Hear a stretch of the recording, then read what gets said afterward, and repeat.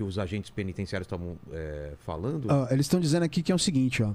É, existem atualmente hoje, não sei se os números estão corretos, mas é, vou seguir esse exemplo aqui. Estão dizendo que. Quem que, quem que mandou? Essa foi o Alex Nunes e tem a do Rodrigo Anéas também, que tem Mais a ver. ou menos a mesma coisa. É que é a mesma coisa. Que na verdade eles estão dizendo o seguinte: que tem hoje 6 mil policiais que eles estão em de- desvio de função para fazer a escolta de presos.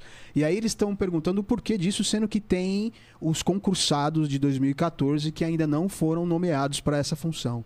É, só, só Então- para completar, o Fábio Jabá, que já veio aqui, que é agente penitenciário, é, falou que queria fazer essa pergunta também e mandou um abraço para você. Não, obrigado. Olha só, então vamos lá. É um concurso de 2014. Já se passaram oito anos. É. Ok? É, precisa ver se a SAP, a secretaria responsável, quer aproveitar os remanescentes desse concurso ou não, porque já tem concurso de 17, enfim, outros concursos. Eu precisaria pegar o detalhe. Mas sobre agente penitenciário de escolta, eu tenho algo a dizer. Até antes da pandemia, você tinha realmente muitos policiais que faziam a escolta do preso. O preso saía lá de Presidente Venceslau, vinha para São Paulo, às vezes no Fórum numa Criminal. escolta, quem fazia? Precisava da escolta, polícia. Polícia. Né? E aí sim era muito mais racional você ter o agente de escolta penitenciária e não a polícia militar escoltando.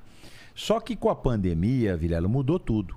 Nós tínhamos poucos presídios que tinham sala de videoconferência, que o preso não precisava sair do presídio para vir aqui. Tinha uma certa dificuldade com a defensoria pública, com a AB, às vezes, de aceitar essa teleaudiência. E o fato é que com a pandemia não teve outro jeito. Todo mundo fez teleaudiência. E agora nós não queremos voltar ao que a gente tinha. Nós colocamos sala de teleaudiência em todos os presídios do Porque Estado. provou que é eficaz. Porque provou que é eficaz. O, o- o- o preso não tem o seu direito limitado. Ele está lá num vídeo, em frente a um juiz, um de promotor, defesa. amplo direito de defesa tal, e você não gasta com gasolina, com escolta E e, tudo mais. também, o né? e o de- perigo, de- né? de resgate, Teve acidente, resgate, e acidente que acontece. Então, é, é, é, eu preciso ver os detalhes, né, para não é, falar algo é, é, que não esteja dentro do que o, o secretário de administração penitenciária, que é o coronel Nivaldo, pense.